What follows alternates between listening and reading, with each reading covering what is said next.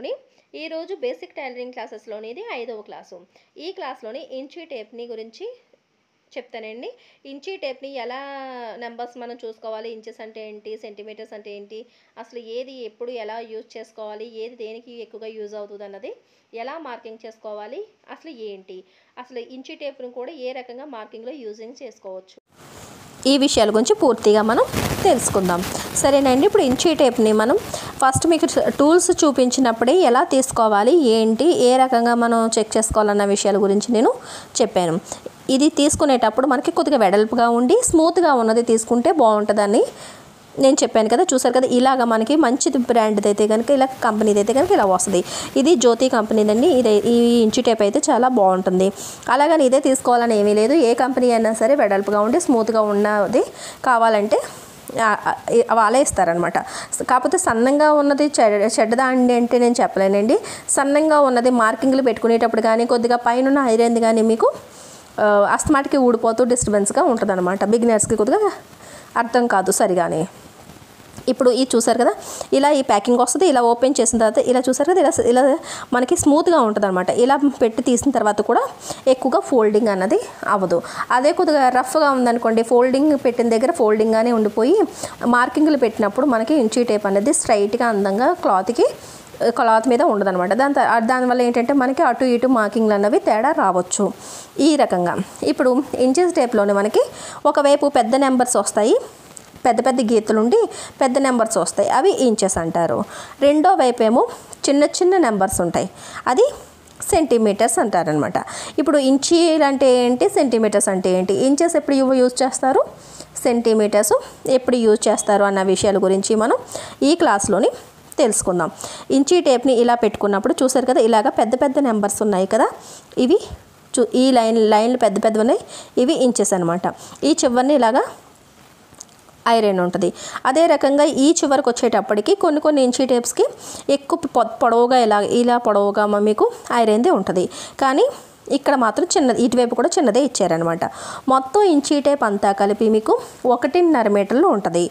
అంటే last number వరకు మీరు చూసుకుంటే ఒకటో నెంబర్ అంటే ఒకటిన్నర మీటర్లు ఉంటుంది అనమాట ఇది చూడండి ఇది నెంబర్స్ అన్నీ అయిపోయిన తర్వాత కూడా ఎక్స్ట్రాగా కొద్దిగా ఇంచీ టేప్ని ఎక్కువగా ఇచ్చారు.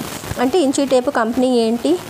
అన్నది రాయడం కోసమని కొద్దిగా ఉంచుకున్నారనమాట కొన్ని కొన్ని ఇంచీ టేప్కి ఏంటంటే లాస్ట్ వరకు కూడా నెంబర్స్ ఉంటాయి. అదైనా సరే ఏదైనా సరే మీరు చిన్న సైజు తీసుకోండి అంటే సన్నంగా ఉన్న తీసుకోండి వెడల్పుగా ఉన్న తీసుకోండి ఇంచీ టేప్ అన్నది ఒకటిన్నర మీటరే ఉంటుందన్నమాట. ఇది మాత్రం ఇది ఎక్స్ట్రాగా ఇందులోని ఇచ్చారు. ఇప్పుడు ఇంచీ టేప్ని ఇలా పెట్టుకున్నప్పుడు చూస్తున్నారు కదా ఇది ఇలా స్టార్టింగ్ ఇలా చిన్న చిన్న నెంబర్స్ ఉన్నవేమో సెంటీమీటర్స్ ఇదేమో ఇంచెస్ ఇప్పుడు ఇంచెస్ గురించి తర్వాత మనం చూ చూద్దామండి. ఇప్పుడు ఈ సెంటీమీటర్ గురించి పూర్తి వివరంగా మనం డీటెయిల్గా తెలుసుకుందాం. మనం షాప్కి వెళ్ళినప్పుడు క్లాత్ కావాలి అని అనుకునేటప్పుడు ఫస్ట్ మనం క్లాత్ని కొలుచుకోవాలి. ఇప్పుడు ఇక్కడ చిన్న చిన్న నెంబర్స్ ఉండి చిన్న చిన్న గీతలు ఉన్నాయి కదా? ఇవి సెంటీమీటర్స్ అనమాట ఇవన్నీని.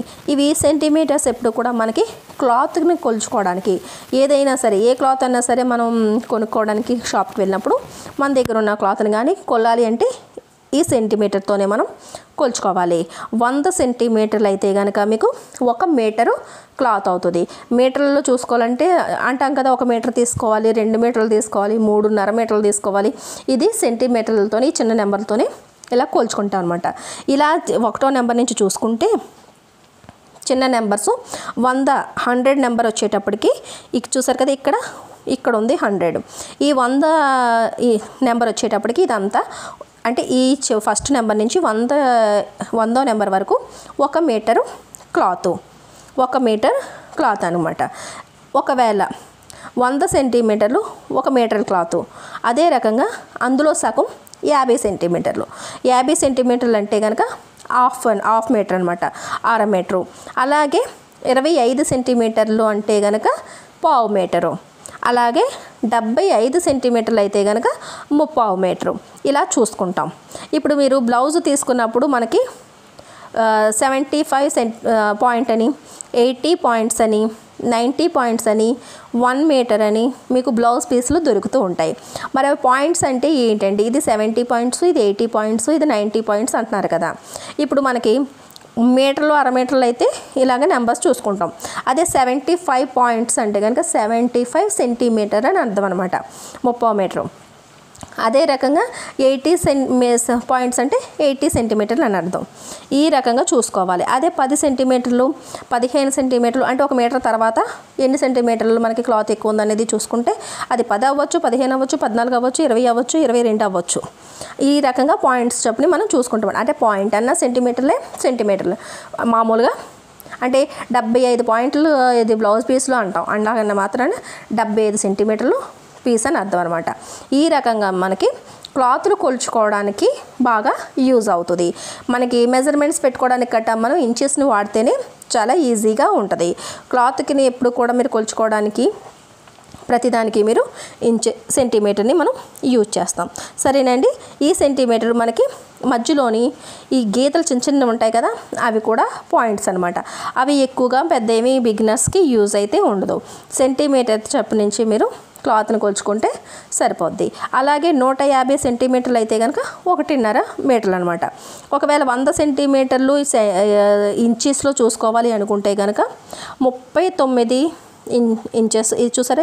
ఇది మొత్తం నూట యాభై సెంటీమీటర్లు ఉంది కదా? అంటే మొత్తం ఇంచు టేప్ అంతా కలిపి ఒకటిన్నర మీటర్ ఉంటుంది అనమాట మీరు మూడు మీటర్ కొలాలి అనుకున్నారనుకోండి ఒకటి నుంచి ఇంతవరకు ఒకసారి తీసుకుని మళ్ళీ ఇంకో రెండోసారి కొలుచుకుంటే మీకు మూడు మీటర్లు వచ్చేస్తుంది అనమాట ఈ రకంగా సెంటీమీటర్స్ని యూజ్ చేసుకుంటాం.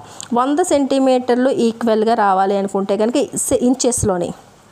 ఇప్పుడు వంద సెంటీమీటర్లకి మనకు ఒక మీటర్ కొలుచుకున్నాం. దాన్ని మళ్ళీ రెండు సార్లు పెట్టి కొలుచుకుంటే అదే క్లాత్ని రెండు సార్లు ఫోల్డ్ చేస్తే రెండు మీటర్లు. మూడు సార్లు ఫోల్డ్ చేస్తే మూడు మీటర్లు. అలాగ మీరు ఎన్ని మీటర్లు అయినా సరే కొలుచుకుంటూ రావచ్చు అనమాట సరేనండి? ఇప్పుడు ఈ వంద సెంటీమీటర్లు ఇంచెస్ ఎంత అంటే ముప్పై తొమ్మిది ఇంచెస్ వంద సెంటీమీటర్లు ఉంటుంది. మీరు ఈ ఇంచెస్ని పట్టించుకునే కన్నా సెంటీమీటర్లోనే మీరు మీటర్లు అనేవి చూసుకోండి. సరేనండి? ఇప్పుడు ఈ సెంటీమీటర్ల గురించి క్లారిటీ వచ్చింది కదా? ఇప్పుడు ఇంచెస్ గురించి చూద్దాం.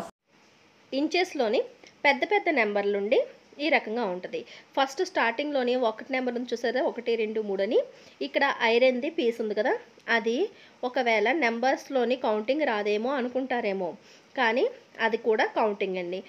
స్టార్టింగ్ నుంచి ఇలాగ మనకి ఇలా రౌండ్ తిప్పుకోవడానికి ఏదన్నా అవసరం అవుతుందని ఐరన్ పెట్టి అంటే ఇంచిటే పాడవకుండా ఉండడం కోసం ఒక హోల్ ఇచ్చారు కదా. ఇక్కడ స్టార్టింగ్ నుంచి కూడా మనకి ఇది కూడా మనకి యూజ్ అవుతుంది.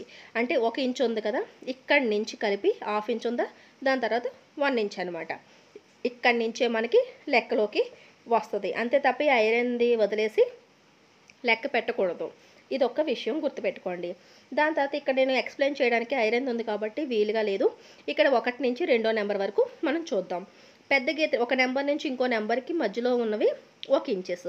ఇంకొకటి పెద్ద లైన్ ఉంది కదా అది అర ఇంచ్ అనమాట దాని తర్వాత ఈ రెండిట్లకి మధ్యలో ఉన్న పెద్ద గీత అరించు ఈ అరెంజ్కిని ఈ పెద్ద గీతకి ఇది ఉంది చూసారా? కనిపిస్తుంది కదండి ఈ పెద్ద గీత? ఇది హాఫ్ ఇంచ్ అనమాట దీనికి దీనికి మధ్యలో కూడా ఒక పెద్ద గీత ఉంటుంది. అంటే ఈ దీనికి దీనికి మధ్యలోని ఇంకొక చిన్నది పెద్దగా కనిపిస్తుంది కదా అది పావించ్ అనమాట ఈ రెండిట్లకి మధ్యలో ఒక చిన్నది చూసారు? ఇలాగా కొద్ది పెద్దగా గీత కనిపిస్తుంది. అది పావించు దాని తర్వాత అరెంజ్కిని ఈ రెండో నెంబర్కి మధ్యలో కూడా ఒక పెద్ద గీత కనిపిస్తుంది కదా అది ఇంకో పావించు అంటే ముప్పావించు అనమాట ఇప్పుడు ఒకటి పావించు అన్నారనుకోండి ఒకటి దాని తర్వాత ఇలా పావించు అరించు ముప్పావించు అలాగా మనం లెక్క పెట్టుకుంటాం. లేదు అంటే కనుక వన్ ఇంచ్ దగ్గర నుంచి ఒకటి రెండు మూడు నాలుగు ఐదు అని మనం కౌంట్ చేస్తూ ఉంటాం. వన్ పాయింట్ ఫైవ్ అంటే కనుక ఒకటిన్నర ఇంచ్ అని అర్థం. వన్ పాయింట్ సెవెన్ అంటే కనుక ఒకటి ముప్పావించ్ అని అర్థం. ఈ రకంగా మీరు ఈ పావించీల్ని అరించిల్ని కూడా ఇది మనకి తెలుస్తుంది అనమాట ఎప్పుడైనా సరే మనం వన్ పాయింట్ సెవెన్ అన్నాం అనుకోండి ఒకటి మధ్యలో ఉన్న హాఫ్ ఇంచు దాని తర్వాత ఇంకొక పెద్ద గీత ఉంది కదా అది ముప్పావు ఇంచు అనమాట వన్ పాయింట్ సెవెన్ అంటే ఈ రకంగా మీరు మార్కింగ్లు చేసుకోవాలి. సరేనండి ఇది ఇంచీ టేప్లోని తెలుసుకోవాల్సిన విషయాలు. ఒకటి ఒకటిన్నర రెండున్నర రెండు పావు మూడు పావు మూడున్నర మూడు నా పావు తక్కువ నాలుగు ఇవన్నీ కూడా ఇందులోకే వస్తాయి. అరే అరెంజ్ అంటే ఏంటి పావు ఇంచ్ ఏంటంటే చూసుకుంటే సరిపోద్ది అనమాట ఇది ఇంచీ టేప్లోని మనకి లెక్కలు చూసుకోవాల్సిన విషయాలు. ఇలా పొడవుగా పెట్టుకుని మీకు ఎన్ని ఇంచీలు అనుకుంటే అన్ని ఇంచీలు మీరు ఇలాగా మార్కింగ్ అనేది చేసుకోవచ్చు. ఇది మీరు డ్రెస్సుల కన్నా సరే బ్లౌజుల కన్నా సరే దేనికైనా సరే మార్కింగ్ పెట్టుకోవడానికి మనం ఇది యూజ్ చేసుకుంటాం అన్నమాట. ఇప్పుడు ఇంచీ టేప్ ఇంకో రకంగా కూడా యూజ్ చేసుకోవచ్చు. ఇప్పుడు మొత్తం చెస్ట్ అంతా కలిపి ఇరవై తొమ్మిది ఇంచులు అనుకోండి. మనం మార్కింగ్లు చేసినప్పుడు మీకు చెప్తాను. నేను నాలుగో వంతు తీయాల్సి వస్తుంది. ఇప్పుడు ఇది ఇరవై తొమ్మిది కదా? ఇరవై తొమ్మిదిలోని సగం చేయమంటాం. సగం చేయడానికి నెంబర్స్ ఈవెన్ నెంబర్లు అనుకోండి ఫటాఫట్ చెప్పేస్తారు. అదే ఆడ్ నెంబర్ అయితే చెప్పడానికి కొద్దిగా కష్టంగా ఉంటుంది. ఇప్పుడు ఇరవై తొమ్మిది ఇంచులకి ఇలాగా ఫోల్డింగ్ చేస్తామనుకోండి ఆ ఒకటో ఇంచు ఇరవై తొమ్మిది దగ్గర పెట్టి ఇలా ఇంచి టేప్ పెట్టుకుంటే ఇలా సెంటర్కి పద్నాలుగున్నర వచ్చింది. అంటే ఇరవై తొమ్మిదిలోని సగం పద్నాలుగున్నర వచ్చింది. ఇప్పుడు ఈ పద్నాలుగున్నరకు మళ్ళీ ఇలా సగం చేసామనుకోండి ఇది చూసారా? కరెక్ట్గా ఇంచీ టైప్ ఎక్కడ ఫోల్డింగ్ అయింది ఇక్కడ చూసుకుంటే ఏడు పావు వచ్చింది. ఇలా కూడా ఒక నెంబర్లోని అంటే కొన్ని నెంబర్లోని సగం తీయొచ్చు ముప్పా వంతు కూడా తీయొచ్చు అనమాట నాలుగో వంతు కూడా తీసుకోవచ్చు. లెక్కలు మనకి లెక్క పెట్టడం రాలేనప్పుడు కూడా మనకి ఇంచీ టేప్ అన్నది మనకి యూజ్ అవుతుంది. సగం సగభాగము నాలుగో వంతు అన్నీ కూడా మనం ఇంచీ టేప్తోనే మనం తెలుసుకోగలుగుతాం. దాని తర్వాత మనకి క్లాత్ గురి క్లాత్లో మార్కింగ్ పెట్టేటప్పుడు ఏ రకంగా మనకి యూజ్ అవుతుంది అన్న విషయాల గురించి మనం తెలుసుకుందాం. సపోజ్ ఇలా మనం క్లాత్ ఫోల్డింగ్ చేసామే అనుకోండి. పొడవుగా మనం మార్కింగ్లు పెట్టుకోవాలనుకున్నప్పుడు ఈ పైనుంచి ఇలా కిందకి పెట్టినా కింద నుంచి పైకి పెట్టినా మార్కింగ్ అనేది ఇది చూసారా? ఇలాగా. ఫస్ట్ నుంచి ఇది చూసండి. ఇలా పది ఇంచుల దగ్గరికి నేను మార్కింగ్ పెడదాం అనుకున్నప్పుడు క్లాత్ ఎక్కడి నుంచి అయితే ఉందో అక్కడ ఈ ఐరన్ ఇలా పెట్టి పది ఇంచుల దగ్గర నుంచి ఇలా ఒక మార్కింగ్ ఇలా పెట్టుకుంటాం. ఇలాగా. ఇప్పుడు మీకు కరెక్ట్గా వచ్చిందనమాట. ఇంచు టేప్ లైన్గా ఉంది కాబట్టి. అది ఇటువైపు కూడా ఇక్కడ కూడా పది ఇంచులకు పెట్టాలనుకుంటే ఇలా ఒక మార్కింగ్ పెడతాం. మనకి ఇంచీ టేపులో స్ట్రైట్గా ఉంది కాబట్టి సరిపోతుంది అదే అడ్డుగా మార్కింగ్లు పెట్టాలి అనుకోండి ఇప్పుడు ఇక్కడ నుంచి ఒక పది ఇంచులు కానీ ఐదు ఇంచులు కానీ ఇలా మార్కింగ్ పెట్టాలి అని అనుకునేటప్పుడు ఎలా పెట్టాలి అంటే ఇక్కడ నుంచి ఒకటో నెంబర్ ఇది కదా? స- ఇది కరెక్టే. ఈ ఒకటో నెంబర్ ఇక్కడ కదా అని చెప్పేసి ఇందాక మనం నిలువులో మార్కింగ్ పెట్టినట్టే ఇలా అడ్డుగా మార్కింగ్ పెట్టాలి అనుకోండి. ఇది చూడండి ఈ ఐదో నెంబర్కి మనం మార్కింగ్ పెట్టుకోవాలి అని అనుకున్నారే అనుకోండి. ఇప్పుడు ఇంచీ టే ఇంచీ టేప్ని ఇలా పెట్టి ఈ ఐదో నెంబర్ దగ్గర మనం మార్కింగ్ పెట్టాలని అన్నప్పుడు ఇక్కడ చూస్తారా ఇలాగా పైన కానీ ఇంచి టేప్కి ఇలా కింద కానీ మార్కింగ్ పెట్టుకోవచ్చు. కానీ మనం ఎక్కడైతే పెట్టాలనుకుంటున్నామో అక్కడికి ఇలాగా పెట్టడం కష్టం అనమాట అప్పుడు ఏం చేయాలి అంటే కనుక నెంబర్ని ఫోల్డింగ్ వైపుకి ఇలా తిప్పుకోవాలి. అదే ఐదు ఇంచీలు ఐదో నెంబరు కరెక్ట్గా ఫోల్డింగ్ దగ్గరికి ఈ అంచుకి ఇలా పెట్టుకుని ఇలా పెట్టారనుకోండి కరెక్ట్గా చూస్తున్నారు కదా ఈ ఐరేంది ఇక్కడికి వచ్చింది కదా ఇలాగా ఈ ఐరన్ది ఇలా చాక్తోని ఇలా చక్కగా మార్కింగ్ పెట్టుకోవచ్చు. చూసారా ఎంత నీట్గా మార్కింగ్ వచ్చిందో? ఈ రకంగా ఇంచీ టేప్ని యూజ్ చేసుకోవాలి. ఐదు ఇంచీలు అయితే ఇలా మార్కింగ్ పెట్టుకుంటాం. ఎన్నన్నా సరే ఎన్ని ఇంచీలు అన్నా సరే చూసుకుని ఇప్పుడు నాలుగు పెట్టుకోవాలనుకున్నాను అనుకోండి ఈ అంచు దగ్గర నుంచి నాలుగు పెట్టుకొని ఇలా మార్కింగ్ పెట్టుకుంటాం. అదే ఆరు ఇంచీలు పెట్టుకోవాలనుకోండి ఇలా పెట్టుకుని ఇలా మార్కింగ్ చేసేసుకుంటారు. ఇది ఒకటి ఒక పద్ధతి అనమాట అడ్డుగా మనం మార్కింగ్లు పెట్టినప్పుడు నెంబర్ ఈ ఐరన్ ఏమో ఇటువైపు ఉండాలి క్లాత్ వైపు. ఫోల్డింగ్ వైపు ఏమో నెంబర్ మనకి ఏ నెంబర్ అయితే పెట్టుకోవాలనుకుంటున్నా ఆ నెంబర్ దగ్గరికి మనం ఫోల్డింగ్ ఫోల్డింగ్ దగ్గర నుంచి స్టార్ట్ చేస్తే మీకు కరెక్ట్గా మార్కింగ్లు వస్తాయి. ఇప్పుడు ఆమ్ రౌండ్లా గట ఏమైనా మనం మార్కింగ్లు చేసేటప్పుడు ఇలాగా గీత రావాలి అడ్డుగాను గీత రావాలి. అప్పుడు సపోజ్ ఇక్కడ మనం ఇలా చూడండి ఇలా నాలుగు ఇంచుల దగ్గర నేను ఇలా మార్కింగ్ ఇలా పెట్టాను ఇలా పెట్టాను. ఇలా కూడా పెట్టాను. ఇలాగ పెట్టాను ఇలాగ పెట్టాను. చూసారా ఎల్ షేప్ వచ్చింది? అప్పుడు మనకి మార్కింగ్ తెలుస్తుంది అనమాట ఇలాంటి ఇలా అడ్డుగా గీసేయాలి ఇది ఇలా గీసేయాలి. చూసారా? ఈ రకంగా మనకి ఇంచీ టేపు ఏ పార్ట్కి ఏ రకంగా మార్కింగ్ చేసుకోవాలన్న విషయాలు కూడా మనం తెలుసుకోవాలి. ఇప్పుడు సపోజ్ ఇందాక పది ఇంచీలు ఇటు నుంచి పెట్టాం ఇటు నుంచి పెట్టాం కదా ఇంకొక రకంగా కూడా ఇంచీ టేప్ని మనం యూజ్ చేసుకోవచ్చు. బిగినర్స్కి స్కేల్ని యూజ్ చేసుకోమని చెప్తాం. ఒకవేళ స్కేల్ అవైలబుల్గా పక్కన లేకపోతే కనుక వెంటనే మీరు గీత గీసుకోవాలి స్ట్రైట్గా అన్నప్పుడు చూసారు కదా ఇంచీ టేప్ అంచు అంచుని ఈ పది ఇంచుల మార్కింగ్లు రెండు ఇటువైపు అటువైపు కూడా పెట్టాం కదా ఈ మార్కింగ్ కలుపుతూ ఇలా గీత గీసేస్తే మీకు స్ట్రైట్గా వస్తుంది. అంటే తక్కువ తక్కువ దూరాలకి కట్టి కానీ మనకి మార్కింగ్లు పెట్టుకుని ఇంచీ టేప్ని అలా రెండు వేలతోని అణిచిపెట్టుకుంటే లై- లైన్లకు కూడా మీకు యూజ్ అవుతుంది అనమాట ఇన్ని రకాలుగా మీరు ఇంచీ టేప్ని యూజ్ చేసుకోవచ్చు. ఇంచీ టేప్ ఉంటే చాలు మార్కింగ్ పెట్టేసుకోవచ్చు. స్కేల్ కింద కూడా మీరు యూజ్ చేసేసుకోవచ్చు. సరేనండి? ఇంకా మనకి తెలియలేనన్ని విషయాలు ఇంకా ఉంటూనే ఉంటాయి. క్లాసెస్ పెరిగే కొద్దీ ప్రతి ఒక్కటి కూడా డీటెయిల్గా తెలుసుకోవచ్చు. ఇంచీ టేప్ గురించి తెలుసుకుని మార్కింగ్లు ఎలా పెట్టుకోవాలి ఏంటి అనేది తెలుసుకున్నారు అంటే కనుక క్లాత్ కటింగ్ చేసేటప్పుడు నిలువుగా ఎలా మార్కింగ్ పెట్టుకోవాలి అడ్డుగా ఎలా మార్కింగ్ పెట్టుకోవాలి కార్నర్ పాయింట్లు ఎలా మార్కింగ్ పెట్టుకోవాలి అనే ప్రతి విషయాలు కూడా మీకు అర్థమవుతాయి. సరేనా అండి? ఈ క్లాస్లోనిది మీరు ఒకసారి చూసి మార్కింగ్లు గట్టా పెట్టుకునేటప్పుడు ఒకసారి ప్రాక్టీస్ చేసి చూడండి. ముందు క్లాస్లో చెప్పినట్టుగా స్టిచ్చింగ్ కూడా ప్రాక్టీస్ చేస్తూ ఉండండి. తర్వాత ఇంకా చాలా స్టిచ్చింగ్ వెరైటీస్ ఉన్నాయి. అవి కూడా నెమ్మదిగా ఒకదాని తర్వాత ఒకటి మీకు నేను నేర్పిస్తాను. సరేనండి? వీడియో నచ్చినట్లయితే కనుక ఒక లైక్ ఇవ్వండి. మన ఛానల్ని సబ్స్క్రైబ్ చేసుకోవడం మాత్రం మర్చిపోకండి.